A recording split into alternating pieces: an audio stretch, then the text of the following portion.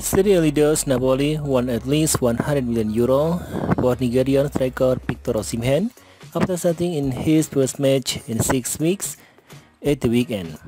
Osimhen scored the only goals after taking former Manchester United defender Chris Smalling for a bumpy ride at the back post. The Nigerian international has been heavily linked with Man United in recent months, especially as a potential replacement for Cristiano Ronaldo. With the 20, the 37 years old goal scorer also linked with a switch to Naples in January. According to the sport, as cited by 2000 Napoli, the Serie outfit will not allow the striker to leave the club unless they receive an offer worth at least 100 million euro. Perhaps an arrangement could be formed between the two clubs, with Ronaldo seeking a new club with his current United deal set to expire at the end of the season. But the different if we are talking about Napoli price asset.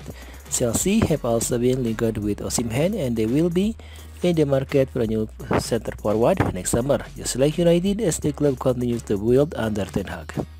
After missing out on Benjamin Sesko last summer, Ten Hag will be preparing for next promising prospect with an aim for goal to land in the transfer market. It's too soon to say that he'll be Jonathan David or Moussa Dembele, but United eventually putting a shortlist together.